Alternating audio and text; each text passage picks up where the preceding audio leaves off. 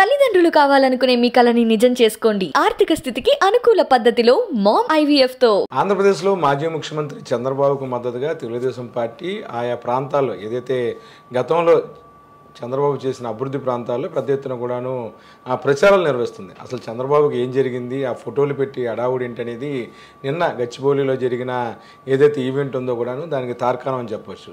ఒకవేళ చంద్రబాబుకి ఏం జరిగిందని చెప్పి కూడాను విపరీతంగా సోషల్ మీడియాలో ట్రోలింగ్ కూడా జరుగుతుంది. ఎందుకంటే వాళ్ళు చేసిన హడావుడి ఆ విధంగా ఉంది. చంద్రబాబుకి సంబంధించిన ఫోటోలు పెట్టడం తర్వాత వాటికి సంబంధించి దీపాలు వేయటం కూడాను ప్రస్తుతం కాంట్రవర్సీ అయింది. ఈ నేపథ్యంలో మనతో మాట్లాడతాకి వైసీపీ నాయకులు పాదయాత్ర వెంకటేశ్వర రెడ్డి అందుబాటులో ఉన్నారు. సార్ నమస్తే. నమస్తే అండి. చెప్పండి ఏంటి గచ్చిబౌలి వేదికగా చంద్రబాబుకు సంబంధించి పెద్ద ఈవెంట్ నిర్వహించారు. ఆ ఈవెంట్ యొక్క ఉద్దేశం ఎవరికి అర్థం కావట్లేదు? అసలు చంద్రబాబు నాయుడుకి ఏమైందని చెప్పి కూడాను యాభై రోజుల నుంచి జైల్లో ఉన్నారని మనందరం అనుకుంటుంటే హైదరాబాద్లో వేరే విధంగా అనుకునేలాగా ఎందుకు ఇలా కార్యక్రమాలు చేస్తున్నారు? ఇప్పుడు చంద్రబాబు నాయుడు అవినీతి చేసి దొరికిపోయి జైల్లో కూర్చున్నాడు. దొరికిపోయిన దొంగ గురించి ఒక సంతాప సభలాగా అదేదో స్వతంత్ర సమరయోధుల్లాగా నీతివంతుల్లాగా అక్కడ కన్సల్టెంట్ని మీడియేటర్స్ని బ్రోకర్స్ని పిలిచి ఒక ఈవెంట్ మేనేజ్మెంట్ చేసి ఒక సినిమా డైరెక్టర్ని పెట్టి సినిమా ఆర్టిస్టులు మొత్తాన్ని పిలిచి యాక్టర్స్ అందరి చేత నాటకాలు ఆడుతున్నారు. వాళ్ళు నాటకాల రాయిళ్ళు కాబట్టి సొంత తండ్రి చనిపోతే ఏడ్చారో లేదో తెలియదు సొంత తల్లి చనిపోతే ఏడ్చారో లేదో తెలియదు కానీ ఈరోజు చంద్రబాబుని డాడీ అని చెప్పేసి ఏదేదో ఏడుస్తున్నారు.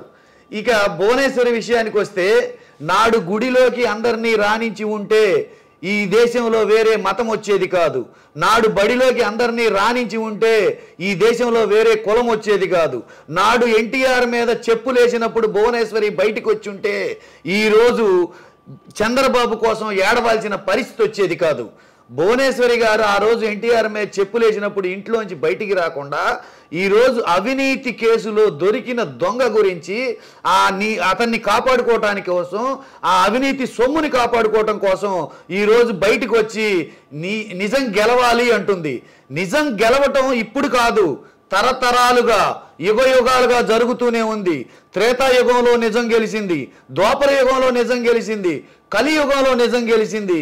ఇప్పుడు చట్టాలలో న్యాయాలలో నిజం గెలుస్తుంది కాబట్టే ప్రజాస్వామ్యంలో నిజం గెలిచింది కాబట్టే రెండు వేల పంతొమ్మిది ఎన్నికల్లో టీడీపీని చంపేశారు. ఇప్పుడు ఆ చనిపోయిన శవాన్ని మోస్తున్నారు మీరు.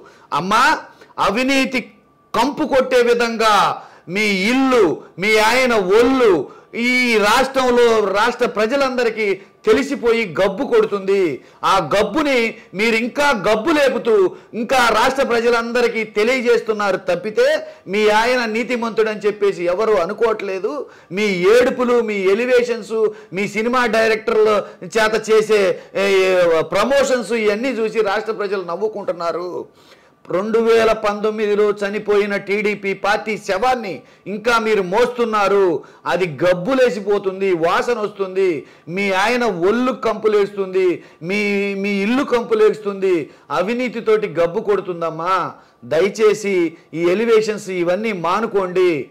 ఇవన్నీ మానుకొని కేసుని హైదరా హైదరాబాదులో కానీ ఇక్కడ కానీ ఏదైనా కేసు విషయాలు మాట్లాడి కోర్టులో మీ లాయర్ల ద్వారా మెరిట్స్ డిమెరిట్స్ చర్చించి మీ ఆయన బయటికి ఎలా రావాలనేది కోర్టులో జడ్జి ముందు మీరు పెట్టుకున్న లాయర్ల చేత వాదించుకోండి సరిపోద్ది కానీ ఏంటమ్మా వీధి నాటకాల్లాగా? ఈ డ్యాన్సులు ఈ ఏడుపులు ఈ నాటకాలు ఈ మేకప్లు ఈ కెమెరాలు ఈ ఎలివేషన్స్ ఈ మీడియా ప్రమోషన్స్ దేనికి ఉపయోగపడతాయమ్మా? మీ ఆయన బయ- మీ ఆయన చేసిన అవినీతి నుంచి బయటికి రావడానికి ఉపయోగపడతాయా? జైల్లో ఉన్న మీ ఆయన బయటికి రావడానికి ఇవన్నీ ఉపయోగపడతాయా? ఉపయోగపడవని మీకు తెలుసు. మీ ఆయన బయటికి రాడని మీకు తెలుసు. తెలిసి కూడా ఈ నాటకాలు ఈ సెంటిమెంట్ డ్రామాలు ఈ దొంగ కన్నీళ్ళు నీకు కన్నీళ్ళు రావని రాష్ట్ర ప్రజలు ఎప్పుడో తెలుసుకున్నారు. ఎందుకంటే మీ మీ నాన్న మీద చెప్పులేసినప్పుడు నీకు రాలేదు కదమ్మా. ఇప్పుడు ఎలా వస్తాయి? అంటే ఆవిడ ఉల్లిపాయలకి పోయారు కదా సార్ ఇంట్లో. ముఖ్యమంత్రి గారి కూతురు మన ముఖ్యమంత్రి గారి భార్య ఉల్లిపాయలకు వస్తున్నాయి కదా కన్నీళ్ళు వచ్చేది. అంటే ఇప్పుడు వచ్చేవి కూడా దొంగ కన్నీళ్ళేనని చెప్పేసి ఆమె చెప్తున్నట్టు కదా. ఇప్పుడు ఆమె ఆమె వేసే నాటకాల గురించి ఆమె చరిత్ర గురించి ఒకసారి తీసుకుంటే కన్న తండ్రిని చంపిన వాళ్ళు ఈరోజు ఇంకో విషయం కూడా మనం ఈ నాటకాలు ఈ ఎలివేషన్స్ ఇవన్నీ చూస్తే ఇంకో విషయం కూడా మనం అనుమానించాలి. ఆమె ఫుడ్ తీసుకెళ్తుంది. కన్న కొడుకు కోసం రేపు భర్తను కూడా ఏమన్నా చేసినా ఆశ్చర్యపోవాల్సిన అవసరంలా నాడు భర్త కోసం తండ్రిని చేసిన ఆమె నేడు కొడుకు కోసం భర్తనేమన్నా చేయదని గ్యారంటీ ఏమన్నా ఉందా? ఈ నాటకాలు ఈ ఎలివేషన్స్ చూస్తుంటే ఈ రాష్ట్ర ప్రజలకు అనుమానాలు వస్తున్నాయి. ఈ రాష్ట్ర ప్రజలకి మాకు ఈ ఈ ఇక్కడ జరుగుతున్న నాటకాలన్నీ చూస్తున్న ఈ మీడియా ప్రతినిధులకు ఈ సోషల్ మీడియా వాళ్ళకు ఈ ఈ అతి అతిపెద్ద అనుమానం ఏంటంటే నాడు తండ్రిని చంపిన ఆమె నేడు కొడుకు కోసం భర్తను చంపదని గ్యారంటీ ఏముంది? అని మాకు డౌట్ వస్తుంది. సార్ ఒకటి చెప్పండి. నిన్న నేను హైదరాబాద్ చూస్తున్నాను వీళ్ళు పెద్ద ఎత్తున కూడా హైదరాబాద్లో సమావేశం నిర్వహిస్తున్నారు. చాలామందికి ఒకటే డౌట్ వచ్చింది. చంద్రబాబు నాయుడు గారు అసలు ఏమైంది? ఉన్నారా లేదని కూడా డౌట్ వచ్చింది. ఎందుకని ఒక విజనరీ ఉన్న ముఖ్యమంత్రి పరిస్థితి ఎలా ఎందుకు అయిపోయింది అంటారు? ఇప్పుడు విజనరీ ఉంది అని భ్రమ కల్పించి అబద్ధం ఎప్పటికీ గెలవదు. నిజమే గెలుస్తుంది. నిజము గెలిచింది కాబట్టే చంద్రబాబు నాయుడు లోపల ఉన్నాడు అంటే అందరూ డాడీ డాడీ అని ఆడవటం తర్వాత బండ్ల గణేష్ లాంటి వ్యక్తి వాళ్ళెవరు వాళ్ళెవరు యాక్టర్స్? తెలుగులో ఏమంటారు? నాటకాల రాయిళ్ళు అంటారు. నాటకాల రాయిళ్ళు నాటకాలు వేస్తున్నారు కాబట్టి రక్తి కట్టించారు. బాగా ఏడ్చినట్టు నటించగలిగారు. ఆ నటన కెమెరాల ద్వారా మీడియాల ద్వారా ప్రజల్లోకి ప్రమోట్ చేస్తున్నారు. వాళ్ళు నటులని ఆల్రెడీ ఒప్పుకున్నారు కదా. బండ్ల గణేష్ అనే వ్యక్తి బండ్ల గణేష్ అనే వ్యక్తి ఒక యాక్టర్గా తెలుగు ప్రజలకు తెలుసు. ఒక యాక్టరు ఒక డయాస్ ఎక్కి మీడియా ముందు కెమెరాల ముందు ఒక డైరెక్టర్ సమక్షంలో ఏడుస్తున్నాడంటే దాన్ని నాటకం అంటారా నిజమైన ఏడుపు అంటారా పదిహేను కెమెరాలు లైట్లు అడావుడి వెనకాల ప్రోమోస్ ఇదంతా ఫిక్స్డ్లా ఉంది ప్రోగ్రామ్ ఫిక్స్ ఒక ఈవెంట్ చేశారు వాళ్ళు.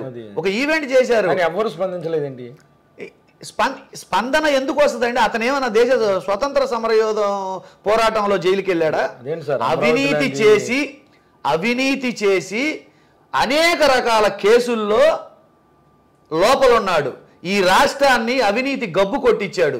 అతను ఒళ్ళు గబ్బు అనుకో అతని ఆలోచన గబ్బు అనుకో అతని ప్రవర్తన గబ్బు అనుకో అతని మనసు గబ్బు అనుకో ఈ రాష్ట్రాన్ని కూడా అవినీతి గబ్బు పట్టించాడు అతని ఇంటిని కూడా అవినీతి గబ్బు పట్టించాడు.